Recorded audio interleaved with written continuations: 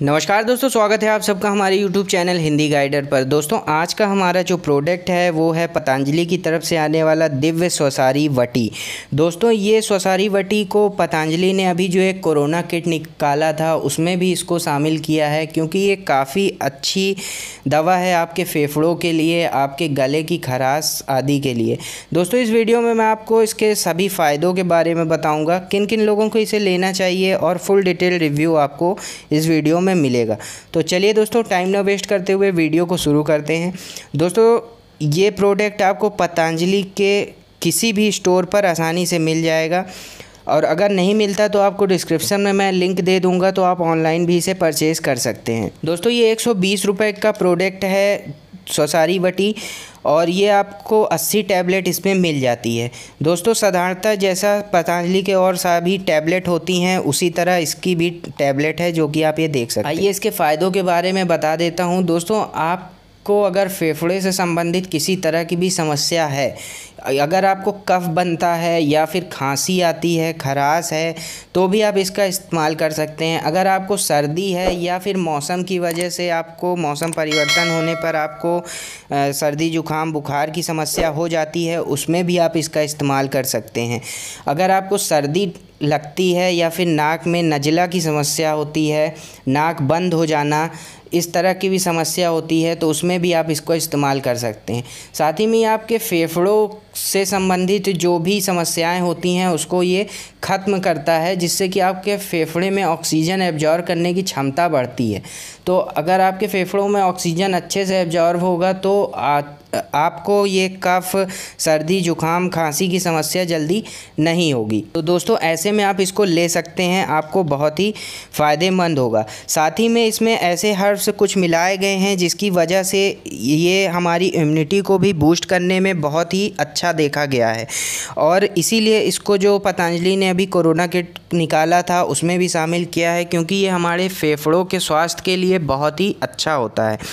तो इसमें देखिए बहुत ही सारे औषधि मिली हुई है जिस को मिलाकर, उनका एक कंपोजिशन मिलाकर इसको तैयार किया गया है, जो कि काफ़ी फ़ायदेमंद है हमारे गले से संबंधित बीमारी, फेफड़े से संबंधित बीमारी और नाक से संबंधित जो भी बीमारी होती है उसमें। तो जिन लोगों को भी आम दिनों का भी सर्दी जुकाम या फिर मौसम बदलने पर सर्दी जुकाम हो जाता है, उन लोगों को भी ये यूज़ करना चाहिए क्योंकि ये उनकी इम्यूनिटी पावर को भी बढ़ाएगा और जो जल्दी जल्दी सर्दी जुकाम खांसी, नज़ला या फिर कफ संबंधित दिक्कतें होती हैं, उसमें भी फ़ायदा करेगा। दोस्तों, अब सवाल आता है कि अगर आप कोई अदर दवा ले रहे हैं तो उसके साथ इसको ले सकते हैं? जी, बिल्कुल आप इसको ले सकते हैं।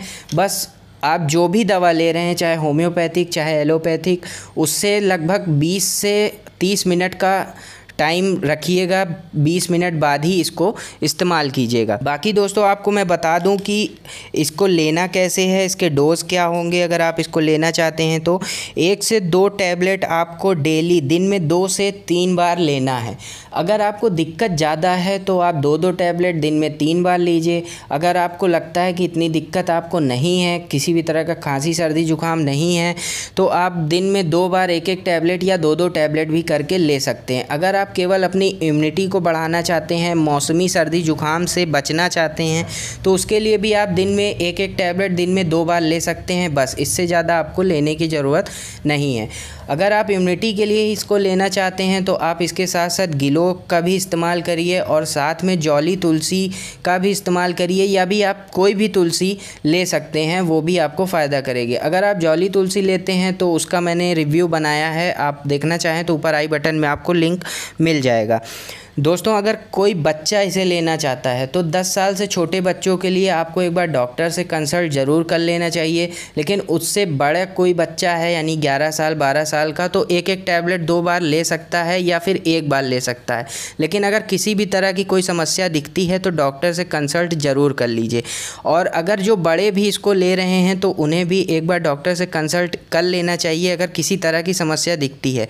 वैसे तो इसके कोई साइड इफ़ेक्ट नहीं है, लेकिन जो भी प्रेगनेंट प्रेग्नेंट लेडीज़ हैं, उनको इसे नहीं लेना चाहिए और अगर कुछ इस तरह की समस्या है तो अपने डॉक्टर से कंसल्ट किए बिना तो किसी तरह की भी कोई आयुर्वेदिक चाहे कोई भी दवा नहीं लेनी चाहिए। दोस्तों, आपको इसे गर्म पानी के साथ यानी कि गुनगुने पानी के साथ लेना चाहिए, जो कि काफ़ी फ़ायदेमंद होगा। और अगर आपको किसी तरह के गले से संबंधित दिक्कत है तो इसके साथ साथ आपको उज्जाई प्राणायाम भी करना चाहिए। आप वैसे भी यूट्यूब पर डालेंगे तो आपको बहुत सारे वीडियोस मिल जाएँगे उज्जाई प्राणायाम के तो आप उसको देख करके उज्जाई प्राणायाम भी करिए और साथ में इसको लीजिए तो आपको अगर गले से संबंधित, गले में खिसखिसाहट, गले में हल्की खांसी या फिर सूखी खांसी की समस्या है तो वो भी सब आपको इससे देख, फ़ायदा देखने को मिलेगा। दोस्तों, ये थी पूरी वीडियो अगर आपके कुछ सवाल हो तो आप नीचे कमेंट करके हमसे पूछ सकते हैं, हम आपके सवालों के जवाब देते हैं और अगर आपको वीडियो अच्छी लगी हो तो चैनल को सब्सक्राइब किए बिना कहीं मत जाइएगा। वीडियो को लाइक ज़रूर कर दीजिएगा। धन बी हेल्दी, बी सेफ़, जय हिंद, जय भारत।